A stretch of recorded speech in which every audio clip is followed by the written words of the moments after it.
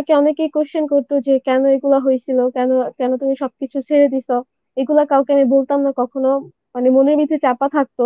তো আমার হঠাৎ করে কেন জানি মনে হইতেছিল যে, ভালো কিছু প্রচার করা উচিত। যেহেতু আমি চেঞ্জ হয়েছি তো আমার কথা শুনে বা হয়তো কেউ চেঞ্জ হবে, কেউ ইসলামের পথে যাবে, মূলত এটাই ছিল।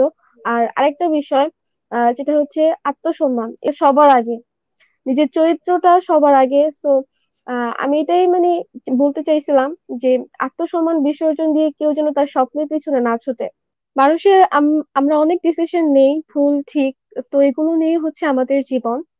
তো আমি শুরু থেকে বলছি, আমার পরিবারে আমি আছি, আমার তিন বোন আছে, আর হচ্ছে বড় একটা ভাই আছে, আর আব্বু আছে আম্মু আছে।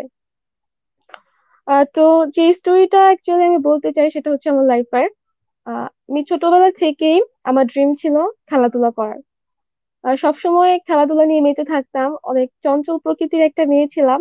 তো যখন আমি প্রাইমারি স্কুল আর কি আহ, যাই প্রাইমারি স্কুলে যাওয়ার পরে আহ পড়াশোনায় খুব ভালো ছিলাম।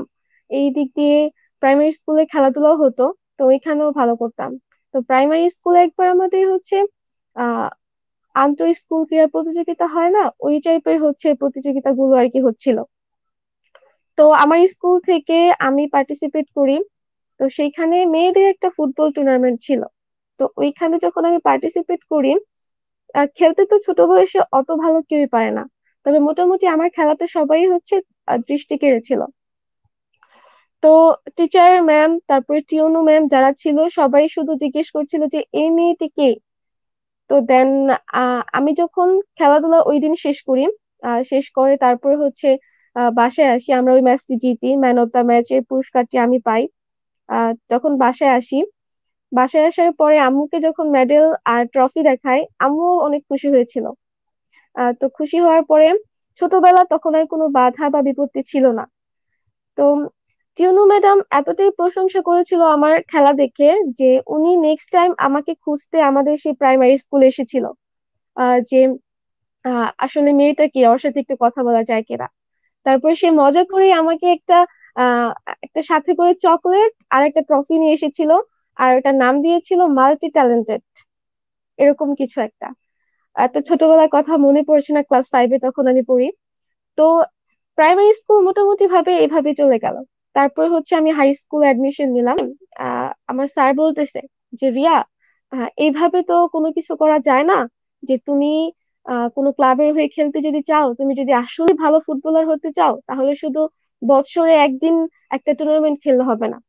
তোমাকে সবসময় প্র্যাকটিসের মধ্যে থাকতে হবে। ইভেন তুমি হচ্ছে যদি নিয়মিত প্র্যাকটিস করো, তাহলে হয়তো আরও ভালো করতে পারবা। যেহেতু স্কুল ম্যাচগুলো আর কি যখন খেলা হইতো, তখন তার পনেরো দিন, এক মাস আগে আর কি প্র্যাকটিস সেশনটা করতো।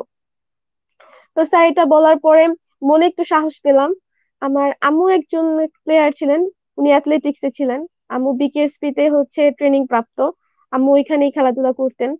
তো আমার আম্মু আর কি কোনো কারণে ওইখান থেকে ব্রেক ডাউন করছিল। তো আমি তো, আমি ছোট ছিলাম, এই কারণে আমার বাসা থেকেও প্রবলেম ছিল না, আর কোনো সমস্যা হলো না। তো আমি হচ্ছে যখন ক্লাস এইটে খেলি, তখন জেলা পর্যায়ে আমাদের খেলা হচ্ছিল। জেলা পর্যায়ে খেলা হওয়ার সময় মানে আমারে আমার জেলাতে একটা কোচার আর কি দেখে। দেখা বলে যে আমার স্যারের নাম ধরে বলে যে মেয়েটার যত্ন নিও। মেয়েটার যত্ন নিও, ও অনেক আগে আগে যাবে। তো আমাকে সামনে রেখে কথাটা বলছিল, তো আমার মাথার মধ্যে শুধু ওইটাই ঘুরতো, স্যার, আমাকে এটা ভালো বলছে, আমি হয়তো আরেকটু ভালো করতে পারব। তো আমি খেলাধুলাটার দিকে ফোকাস দিতে গিয়ে আমার পড়াশোনাটা একটু ক্ষতি হইতে লাগল। ক্ষতি হইতে লাগল পরে আমরা ওইবারও জেলা পর্যায়ে হেরে গিয়েছিলাম, জিততে পারিনি, হেরে গিয়েছিলাম। তো যখন ক্লাস নাইনে আমি উঠি আর কি মানে প্রফেশনালি ভাবে খেলাধুলা যেটাকে বলে, যখন ক্লাস নাইনে আর কি যখন আমি উঠি, তখন আর কি আমি মানে বাসায় নিয়ম মানে বাসায় প্র্যাকটিস করতাম। পাশে মানে যেহেতু আমি গ্রামে থাকি, এখানে মেয়েদের খেলাধুলা করা অতটা বেশি অ্যালাউ না, বা মেয়েরা খেলেও না এরকম ভাবে ফুটবল তো পাশেই বাসায় যারা আর কি ভাইয়ারা খেলতো, ছোট, বড়, সবার সাথে আমি খেলতাম। আর আমি ঘুমানোর সময় আমার সাথে একটা ফুটবল থাকতো, আর ওইটা আমার এখনও আছে ফুটবলটা সেই যে আমি ঘুমাইতাম ফুটবলটা এটা এখনও আছে। তো ঘুমানোর সময় থাকতো, ওইটাই আমি সবসময় হাতে নাড়তাম, পায়ে নাড়তাম, ওইটা নিয়েই সব চিন্তা ভাবনা আমার ছিল। তারপরে হচ্ছে ক্লাস নাইনে যখন উঠি, তখন হচ্ছে সায়েন্স নিয়ে পড়াশোনা করছি আমি। তো আমাকে জোর করে আর কি সায়েন্স দেওয়া হয় বলতে গেলে। আবার আমার আমার ই ছিল, আমি যখন জিএসসি পরীক্ষা দিই, তখন হচ্ছে রেজাল্ট ভালো আসছিল। তো ফার্স্ট গার্ল ছিলাম, যে কারণে আমার পরে যারা ছিল, আমার ফ্রেন্ড সবাই সায়েন্স নিতেছিল। স্যাররা বলতেছে, তুমি ফার্স্ট গার্ল তুমি যদি সায়েন্স না নাও, তাহলে কীরকম হয়? তখন তো আমি জানি না আসলে সায়েন্সের পড়াশোনা কীরকম হবে। তো তারপরে আমি সায়েন্স নিলাম। সায়েন্স নেওয়ার পরে পড়াশোনার দিকে একটু ফোকাস দিতে লাগলাম। আর জানুয়ারি, ফেব্রুয়ারি মাস তো এমনিতেই খেলাধুলার মাস। তখন প্রত্যেকটা স্কুলে ক্রীড়া প্রতিযোগিতা গুলা হয়। আমি এমনি তো দৌড় প্রতিযোগিতা বা আদার্স গুলাতে ভালোই করতাম, সবসময় ফার্স্ট হইতাম চ্যাম্পিয়ন পুরস্কার নিতাম। তো স্কুলে সবাই মোটামুটি তখন জেনে গেছিল, বা আমার এলাকায় বা আমার উপজেলাতে তখন সবাই জেনে গেছিল যে ওই স্কুলের একটা মেয়ে আছে, অনেক ভালো খেলে। ও ম্যাচে আইসি মানে আমরা ম্যাচ হেরে যাব। তো ক্লাস নাইনে যখন আমি খেলতে যাই, আমাদের ম্যাচগুলা অনুষ্ঠিত হয়, তখন হচ্ছে উপজেলা পর্যায়ে আমরা চ্যাম্পিয়ন হই। আমাদের চ্যাম্পিয়ন কেউ নিতে পারে না। জেলা পর্যায়ে গিয়ে আমরা পরপর দুইটা ম্যাচ খেলি। পরপর দুইটা ম্যাচ খেলি। দুইটাতেই আমরা জয়লাভ করি। এখন ফাইনাল ম্যাচের জন্য অন্য আরেকটা দিন দেয়। তো আমরা অন্য একটা দিন যখন খেলতে যাই, ওই দিন হচ্ছে খেলতেছিলাম। তো খেলার আগে যে কোচারটা আমাকে যে বলছিল যে, ওর যত্ন নিও। ওই কোচারটা আমার মাথায় হাত রেখা বলে, মনে করব আজকে সম্পূর্ণ মাত্রা তোমার। আজকে তোমার খেলার উপর ডিপেন্ড করব, তুমি কোথায় যাইবা? তুমি কি মুন্সিগঞ্জে থাকবা? নাকি তুমি আরও দূরে যাইবা? আমরা এটা দেখতে চাই। তো এটা বলার পরে আমার একটা নার্ভাসনেসও কাজ করতেছিল, আবার ভালো লাগতেছিল। স্যার আমাকে ভালো বলছে, প্রশংসা করলে তো সবারই ভালো লাগে। তো আমি আমার মতো করে খেলতেছিলাম ওই দিন, বা ফাইনাল ম্যাচটা মানে আমি মানে মনে করতেছিলাম মাঠে একা আমি আছি। ফুটবল এগারো জনের খেলা আমি একাই সব খেলতেছিলাম। পাঁচ থেকে মানে ডিফেন্স আমি মিডফিল্ড আমি স্ট্রাইকার আমি, সবই আমি। মানে আমার মাথায় কাজ করতেছিল, ওই দিন শুধু বল আমার পায়ে থাকবে। তারপরে আমার যে মানে স্যার ছিল, স্কুলে ক্রীড়া শিক্ষক উনি আমাকে ধমক দিয়ে বলে তুমি কি একা খেলতে আসছো এখানে? ফুটবল এগারো জনের খেলা, এগারো জনকে খেলতে হবে, সবাই একসাথে খেললে। স্যার কি আমাকে বুঝাইলো, কীভাবে খেললে আমরা ম্যাচটা উইন করতে পারব? আর আমি ক্যাপ্টেন ছিলাম, তো আহ আমার লিড যেহেতু সবাই শুনবে, তো আমি আবার শুরু করলাম আমার মতো করে খেলা। তখন আবার একটু পাস দিতেছিলাম সবার সাথে, সবাইকে সাথে নিয়ে কি খেলার চেষ্টা করতেছিলাম। তো জেলা পর্যায়ে আমরা ওই ম্যাচটা জিতে যাই, পেনাল্টি শটে। পেনাল্টি কারণ দুই দলের, এক দলের কোনো গোল হয় না, তারপরে পেনাল্টি শট হয়, আমরা হচ্ছে ওটাতে জিতে যাই। এখন আমাদের মিশন হচ্ছে কোথায়? আমাদের মিশন হচ্ছে আমাদের নেক্সট ম্যাচ বিভাগে, ঢাকা বিভাগে মতিঝিলে। তো আমরা মতিঝিল, আরামবাগ যে মাঠটা আছে বয়েজ স্কুলের সাথে, ওইখানে আমাদের খেলা পড়ছিল যতদূর মনে পড়ে। তো আমরা খেলতে গেছি ওইখানে মেয়েরা দেখি মানে আমরা যখন গেছি, সকালবেলা বাস দিয়ে গেছি, ওইখানে মেয়েরা গিয়ে দেখি আরও বেশি স্টাইলিশ আমরা তো একটা গ্রামের মেয়ে, আমাদের যে টিম ছিল সবাই গ্রামের ছিলাম। তো গিয়ে দেখি অনেক স্টাইলিশ অনেক ক্লাবের কোচাররা আহ, অনেকেই আছে। তো আমার যে ক্রীড়া শিক্ষক আর জেলার যে কোচার ছিল ওনারা বলতেছে যে, রিয়া, এখানে যদি তুমি ভালো পারফরমেন্স দিতে পারো, তাইলে কিন্তু তোমার লাইফটা খারাপ। পরে, এটা বলার পরে আমি চিন্তা করলাম যে আসলে মানে কিছু করতে হইব, কারণ আমার খেলার নেশাটা মাথার মধ্যে এরকম ভাবে ছিল, আমি সব সময় শুধু খেলাই চোখে দেখতাম। মানে সব সময় আমার কোনো ই ছিল না। আমার এরকমও দিন গেছে যে আমি পরীক্ষা বাদ দিয়া মানে অর্ধেক লিখা, তারপর হচ্ছে খেলছি। আমার লাইফ এরকম দিনে গেছে। এক ঘণ্টা পরীক্ষা দিয়া, তারপর আমি চলে গেছি, আমার ম্যাথ ছিল, আমার ট্রায়াল ছিল, এরকম। তো তারপরে হচ্ছে আমি আমরা যখন যাই ওই পৌঁছাই এখানে, তো আমাদের ফার্স্ট ম্যাচ ছিল হচ্ছে নারায়ণগঞ্জের সাথে আমাদের পার্শ্ববর্তী জেলা। তো বরাবরের মতো আমার সবকিছু স্যারদের অনেক ভালো লাগতো। কিন্তু আমি একটু ফিটনেস এর দিক থেকে দুর্বল ছিলাম। মানে অনেক বেশি, অনেক লং টাইম দৌড়ে খেলতে পারতাম না। অনেক লং টাইম যেমন যে সময়টা আর কি সম্পূর্ণ দেওয়া হতো খেলতে, ওইটা সম্পূর্ণ খেলার আগে আমি হয়রান হয়ে যেতাম। একটা ক্লান্তি ভাব চলে আসতো। তো ওই দিন আল্লাহর রহমতে কেন জানি আমার ওইটাও হয় নাই। আমি যে যতক্ষণ খেলা হয়েছে ততক্ষণ আমি মাঠে ছিলাম এন্ড আমার পারফরমেন্স সবাই তাকায় তাকায় দেখছে। এরকম কথা হইতেছিল।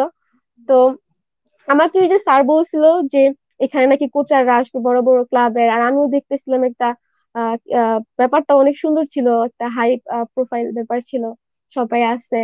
তারপরে হচ্ছে ওইখানে তো যখন যারা ভালো খেলে, না জিততে পারলেও যারা ভালো খেলে, তাদের হচ্ছে একটা ই করে রাখে লিস্ট করে রাখে যে এই মুন্সিগঞ্জ জেলার এই মেয়েটা বা ওই জেলার এই মেয়েটা, এরকম করে লিস্ট করে রাখে যে কোন জেলার কোন মেয়েটা ভালো খেলছে, তাদেরকে পরে ট্রেনিং করে আর কি আরও ভালো পর্যায়ে যাতে যেতে পারে, তাদেরকে দিয়ে আবার বিভাগীয় ম্যাচগুলা খেলায়। তো তারপরে হচ্ছে আমি ওই নারায়ণগঞ্জের সাথে আমরা ম্যাচ জিতি, তারপর আমাদের খেলা পরে গাজীপুরের সাথে। তো গাজীপুরের সাথে যখন খেলা পড়ে, আমরা সকালে একটা ম্যাচ বিকেলে একটা ম্যাচ তো সকালে আমরা ম্যাচ শেষ করে সবাই ফ্রেশ ট্রেশ হইয়া একটু ঘুমাই পড়ছিলাম। মানে আমরা তো গ্রামে, আমরা তো এত কিছু জানি না ওইখানে। আমরা ঘুমাই পড়ছিলাম কারণ আমাদের ম্যাচ বিকালে তিনটা বাজে। আমাদের খেলা শেষ হয়ে গেছে আহ প্রায় এগারোটার মধ্যে। তো আমরা খাওয়া দাওয়া করে একটু রেস্ট নিতে গিয়ে সবাই ঘুমাই গেছিলাম। তো আমরা মানে মাইকে শুনতেছিলাম, মুন্সিগঞ্জ জেলা বনাম গাজীপুর, এরকম বলতেছিল। এখন আমরা মুন্সিগঞ্জ শুনে নিচে মানে সবাই লাফায় উঠা চলে গেছি যে অ্যাকচুয়ালি বিষয়টা কি হইতাছে। তারপরে গিয়ে দেখি যে আমাদের খেলা, কোনো ওয়ার্ম আপ নাই, কিছু নাই, তারপর ওই অবস্থাতে আমরা খেলতে নাইমা যাই। ওই অবস্থাতে খেলতে নাইমা যাওয়ার পরে আমরা ওই ম্যাচের মধ্যে কোনো মতে এক শূন্য করে জিততে আর আলহামদুলিল্লাহ গোলটা আমারই থাকে, যদিও সবাই আর কি অনেক হেল্প করছে, অনেক ভালো খেলছে সবাই। তো ওই ম্যাচে আমরা জিতে যাই। জিতে যাওয়ার পরে তারপর আমার মা করে একটা রুমে নিয়ে যায়। পরে এই মেয়েটাকে সাইডে করে রাখো। তো রুমে নিয়ে যায়। রুমে নিয়ে যাওয়ার পরে বলতেছে যে তুমি কি করো? মানে আমার ইন্টারভিউ দিতেছে, এখানে তিনটা, একটা মেয়ে ম্যাম ছিল আর দুইটা স্যার ছিল। তো আমার ওনারা কন্টিনিউয়াসলি কোশ্চেন করতেছে তুমি কত বছর ধরে খেলো? এর আগে কোনো ক্লাবে খেলছো কিনা? তখন আমার স্যার আমার সাথে আসলো। আমি আগে একা ছিলাম, পরে স্যারকে ডেকে নেওয়া হয়েছে। কারণ আমি ভয় পাইতেছিলাম, এদের তিনজনকে একজনকেও চিনি না। পরে হচ্ছে স্যার আসলো। স্যার আসার পরে স্যার আমার ডিটেলসে যা জানতো, সব ওনাদেরকে খুলে বলল যে, মেয়েটা এরকম ভালো খেলে, বাট ও তো গ্রামের, ওর বাসা থেকে সাপোর্ট করে না।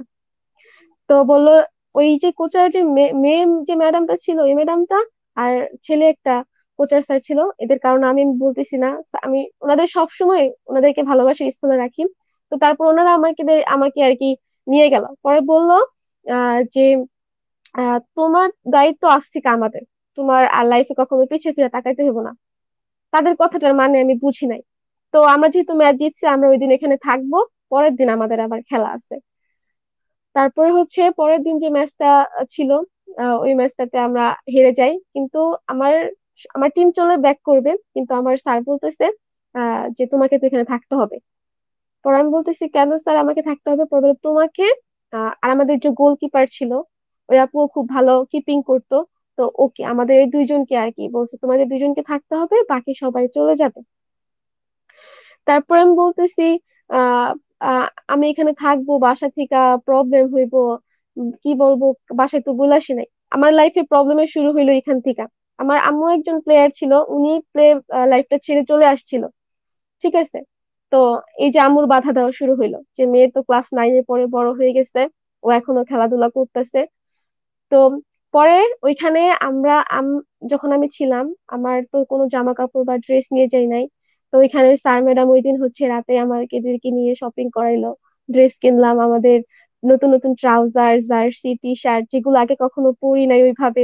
এখন ওইগুলা পরতেছি সবার সাথে। তো ভালোই লাগতেছে। পরে আমাদের দেখলাম দশ বারোটা মেয়ে আমরা একসাথে যারা আর কি বিভিন্ন জেলার আর কি, তারা আমরা একসাথে প্র্যাকটিস করতেছি।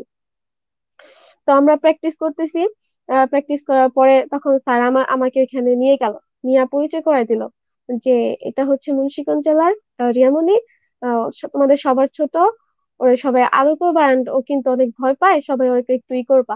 তো আমার আমার যে সিনিয়র আপুরা ছিল, সাথে সবাই অনেক বেশি আদর করতো সবসময় সব জায়গাতে। তো আমার অনেক ভালো লাগতো বিষয়টা। তো আমাদের ক্লাস নাইনে গেল, ওইখানে আমরা প্রায় ছয় সাত দিনের মতো ছিলাম। আমাদের ছয় সাত দিন থাকার পরে পরে বলল তোমাদেরকে আবার কিছুদিন পরে ডাকা হবে খেলতে। তো ডাকা হবে বলার পরে আমরা ওই দিন আমাদেরকে গাইড উঠাই দিল, আমরা চলে আসলাম। চলে আসার পরে স্কুল আসছি। এখন সবাই মানে এখন মোটামুটি আমার জেলা, উপজেলা স্কুল সব জায়গাতেই সবাই মানে আমাকে চিনে। আমাকে অনেক ভালোবাসে বা জানে যে ও মেয়েটা অনেক ভালো খেলে। তো খেলার পরে এখন আমরা হচ্ছে আমি এখন স্কুলে আবার পড়াশোনা করতে, কাজ করতেছিলাম। পড়াশোনা করতাম। তো এখন আবার চিন্তা করলাম আম্মুর আইগা আছে আমার উপরে, কারণ আম্মু বলছে, আম্মু, কিছুতেই রাজি না। আম্মুর বাধা দেওয়া শুরু হইল, আম্মুকে খেলতে দিবই না। আম্মু বলতেছে যে, খেলার জগৎটা থেকে আমি আসছি, আমার থেকে বেশি কি তুমি জানো? তোমাকে আমি বলছি খেলতে দিব না, তো দিব না। লুকায় লুকায় খেলা আমার শুরু হইল। খেলাধুলা লাইফে আমি অনেক স্ট্রাগল করছি, প্রচুর লুকায় খেলছি, প্রচুর মিথ্যা কথা বলছি, আম্মু আম্মু খেলতে যে খেলি না আমি। এমনকি আমার কি আমার আম্মু ফুটবল বলছে, তুমি তো ফুটবল এত ভালোবাসো, তুমি ফুটবল, আহ, ছুঁয়ে কসম করো যে তুমি জীবনে ফুটবলে পা দিবা না। এরকম কথা বলছে। তারপর হচ্ছে আমি তাও মানে আম্মু, আমার ওই যে কসম দিছিল ওইটা মানি নাই, খেলার প্রতি এত অ্যাডিক্টেড ছিলাম আমি।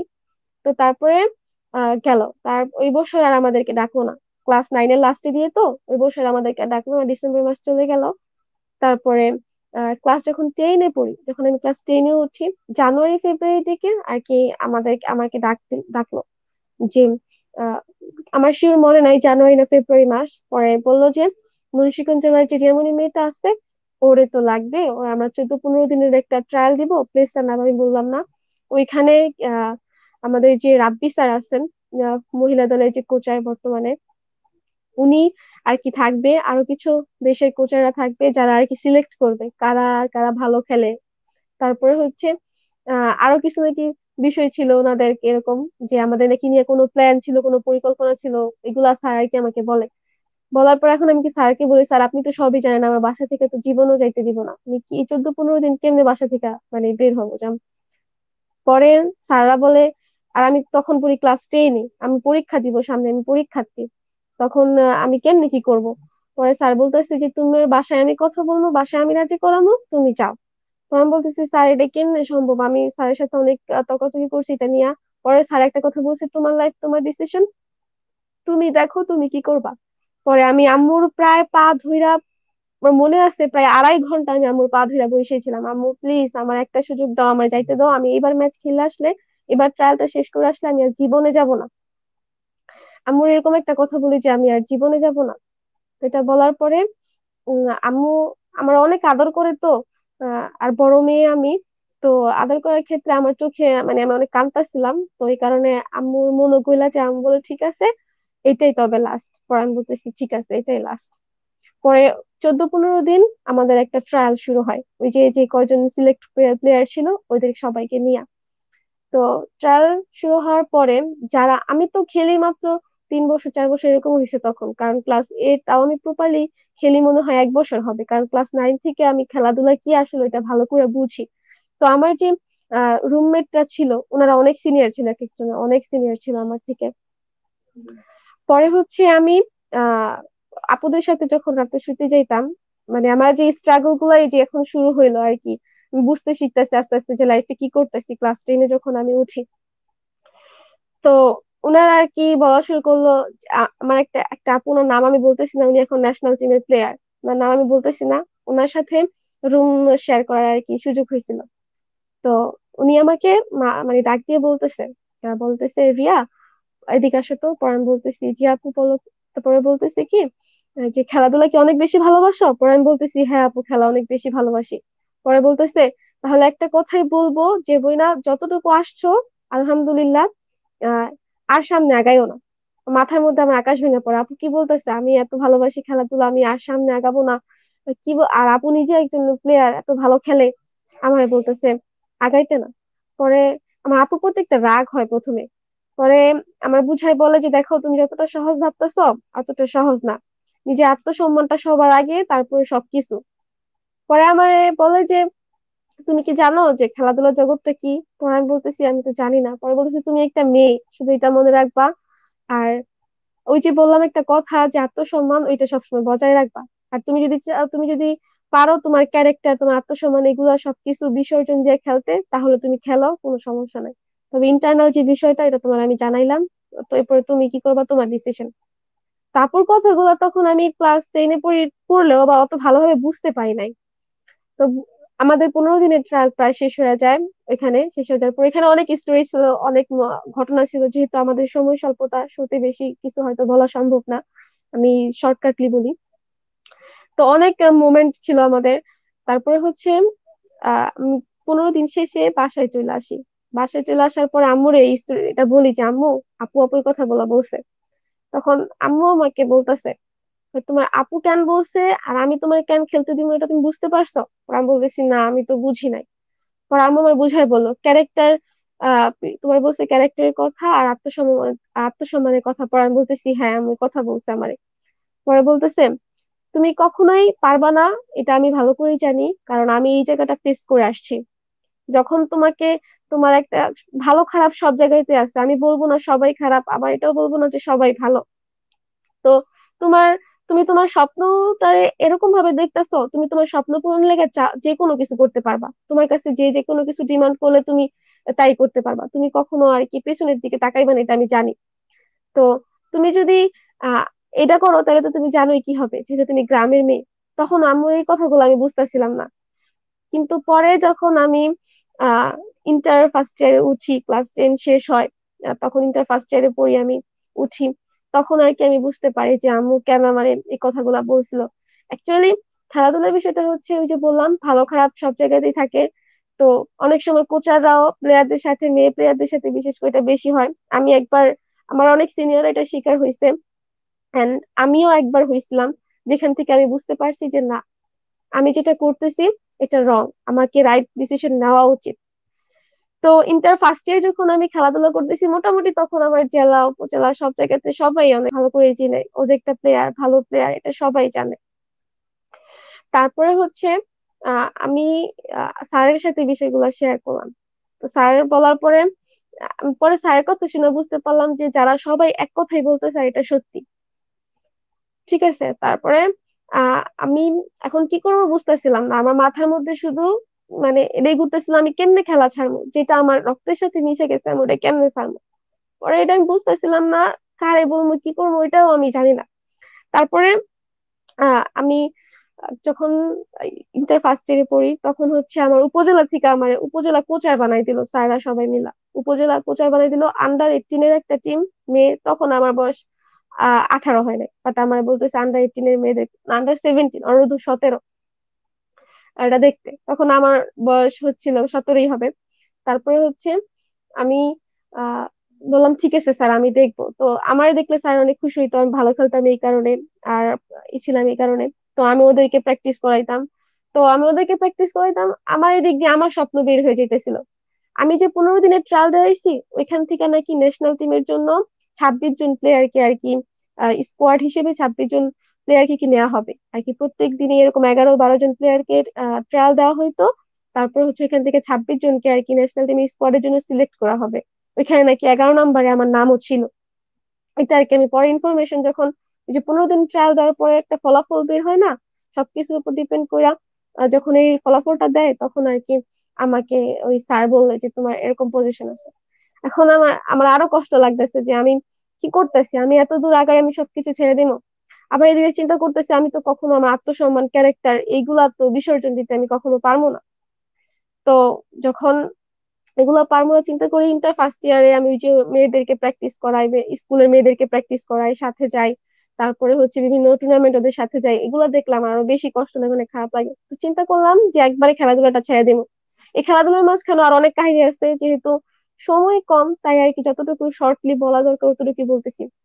এখন লাস্ট আমি যে ম্যাচটা খেলি, মোহাম্মদপুর ফিজিক্যাল কলেজ আমার এখনও মনে আছে লাস্ট যে আমি ম্যাচ খেলি ওই দিন আমি যখন ম্যাচ খেলা বাসায় ফিরতেছিলাম, তখন আমি চিন্তা করতেছিলাম যে আমি লাইফে কি করতেছি, আমি তো ঠিক করতেছি না, আমি তো একটা মুসলিম মেয়ে, আমার তো ইসলাম কি বলো এটা মেনে চলা উচিত, ইসলামের মতো পথে চলা উচিত।